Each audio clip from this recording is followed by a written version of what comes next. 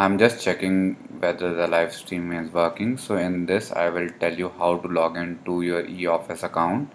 First of all you have to open this saass.nic.in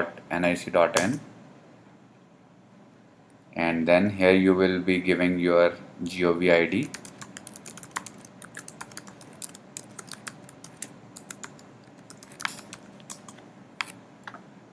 then you have to give the SMS token OTP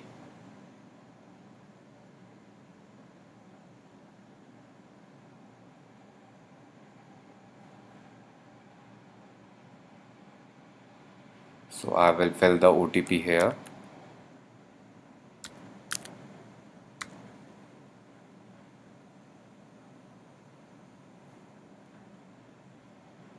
So once you have filled the OTP, there are three instances. These two instances are live instances and this one is for training purposes. Once your commissioner goes live, you have to click the corresponding link.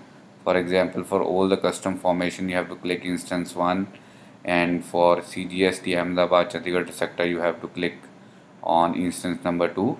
But for now, I will be clicking on the training instance. Here again, you will be have to give your account and then password again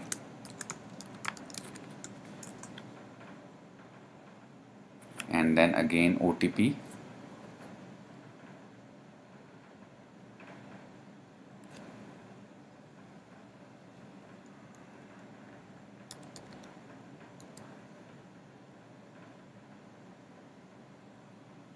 once you are done with OTP just click on continue to login and this file management system it is the application where you will be working.